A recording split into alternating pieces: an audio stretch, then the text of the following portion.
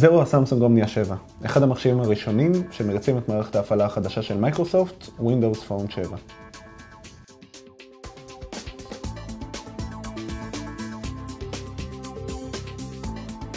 העיצוב של האומניה 7 אלגנטי מאוד, הוא מלבני עם צדדים מעוגלים והחלק האחורי שלו עשוי ממתכת.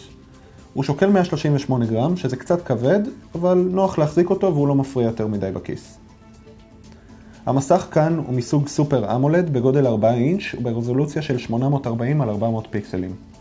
היתרון הבולט של המסך הזה הוא בצבעים הבוהקים שלו וברמת השחור שמסכים מסוגים אחרים יכולים רק לחלום עליה.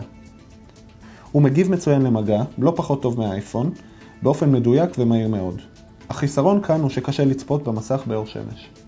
מתחת למסך יש מקשי מגע, אחד לחיפוש ואחד לחזרה לתפריט הקודם, וביניהם נמצא מקש Windows פיזי, שבאמצעותו אפשר לחזור מכל מקום לעמוד הבית. מימין נמצא מקש ההפעלה ונעילת המסך ומקש הצילום. משמאל יש את מקשי הווליום, ובחלק העליון יש שקע לאוזניות ושקע מיקרו USB עם מכסה מובנה.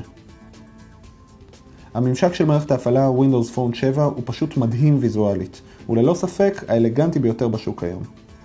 מסך הבית מורכב מערכים דינמיים, שדרכם אפשר להגיע במהירות לאפליקציות השונות.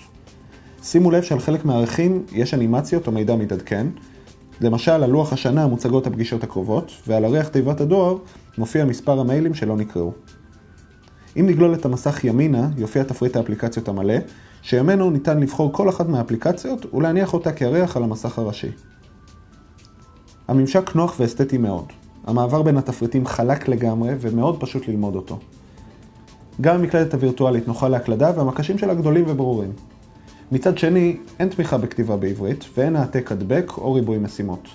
בחנות של מייקרוסופט יש בערך עשרת אלפים אפליקציות, ככה שיש כאן הרבה מאוד מקום לשיפור. הגלישה באינטרנט טובה מאוד, דפים ניתנים מהר ויש תמיכה במולטי מגע. אבל גם כאן יש בעיית עברית רצינית, חלק מהאתרים מוצגים כג'יבריש. המצלמה מפיקה תמונות מעולות וחדות, עם צבעים יפים, וגם צילום הוידאו נראה מצוין, עם פירוט טוב ותנועה חלקה. נגן המוזיקה מבוסס על ה Zune של מייקרוסופט, וניתן בכל שיר לחפש בחנות המוזיקה של מייקרוסופט שירים נוספים של אותו אומן, ישירות מהנגן עצמו. עוד בונוס יפה שיש כאן, הוא גרסה ניידת של Office 2010. אפשר להכין ולערוך איתה מסמכי Word, Excel ולצפות בקבצי PowerPoint. יש GPS באומניה 7, אבל כרגע אין תמיכה במפות Bing וגם לא אפליקציית Waze. זו הסיבה שבגללה כרגע ה-GPS באומניה 7 קצת מוגבל לישראלים.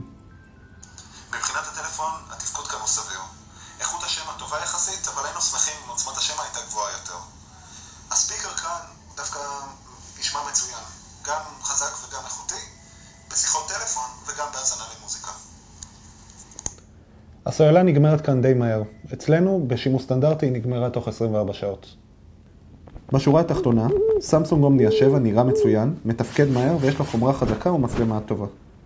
ובכל זאת, מערכת ההפעלה שלו עדיין לא בשלה ולא ממש מותאמת למשתמש הישראלי. מי שיכול להתאים את עצמו לאנגלית בלבד ומוכן לחכות לעדכונים הבאים של מייקרוסופט, ייהנה מאוד מהמכשיר הזה.